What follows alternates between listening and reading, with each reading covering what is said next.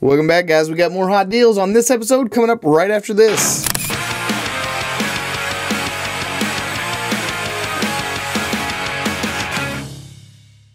So, for those of you that aren't familiar with what we do on the Hot Deals episode, I'm constantly on the lookout for excellent deals for those that are into photography or videography, and I know that a lot of this kind of equipment can be pretty painful in the wallet area, if you know what I mean. So, I found some new deals for you. Let's get started.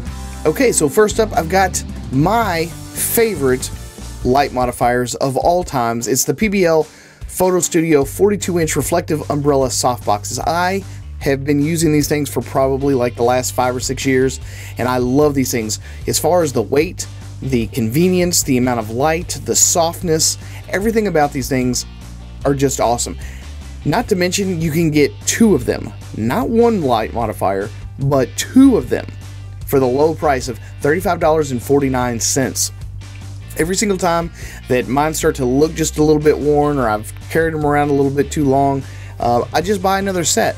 I think I've only had to buy like two in the last five or six years, and I'm telling you, these are probably going to uh, be some of the, best pieces of equipment that you have in your kit. Uh, if you like soft lighting, um, and you're trying to get into flash photography, get these things. Just pick these up right now. You will not be mad at me one bit for recommending these to you.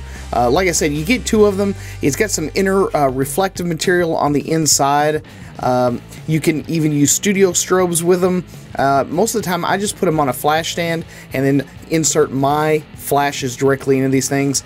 Uh, if you happen to already have some stands, but you might need might need some uh, some brackets. You can buy these really cheap little brackets here for $5.39. As always, I'll have the links to those and the softbox umbrellas in the description box down below.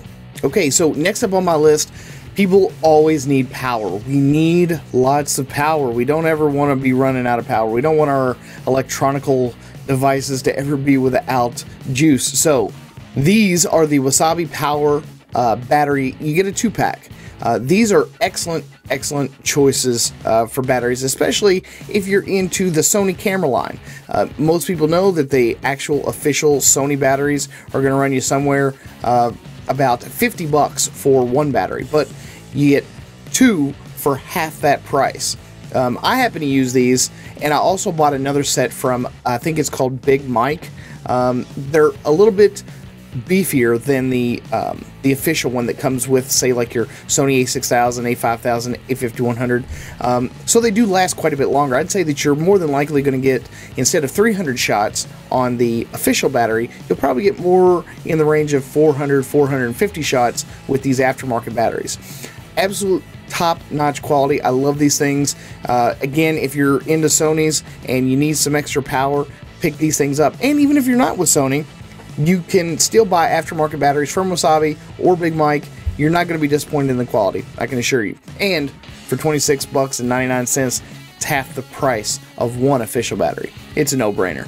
And last but not least, I know that every single person, whether you do photos or video, you're going to have SD cards, compact flash cards, mini, micro, SD cards, whatever. You're going to need something to transport all of that external storage. And for my money, you honestly can't get much better than these small little Pelican uh, SD memory card protective cases. Now, these things are amazing. Um, if you do a lot of video work or photography work, you're going to have so much storage, it's not funny. Uh, I've got cards laying all over the place half the time, but when I'm ready to travel and I want to make sure that all of my data, all of those photographs are protected then this is what I put it in. You put it in something that is water resistant, you put it in something that is shock resistant, something that will absorb uh, a drop. You don't want your cards getting messed up. There you go with the uh, micro SD and the standard SD, and then those, uh, I believe, if you turn them sideways, you can fit your compact flash cards in there as well. I have the one that's just all SD cards, but I figured that some some of you might actually have the compact flash cards, so I'm going to recommend this one. This is the Pelican 0915 that's about all I've got this week. I hope you guys enjoyed the show, and if you did, don't forget to give me a thumbs up or not. I don't give a shit. Either which way, I hope you guys stop by again and come and see me. As always, thanks again for stopping here at the Photo Video Show. I'm your host, Mark Puckett. I'll see you guys again on the next one.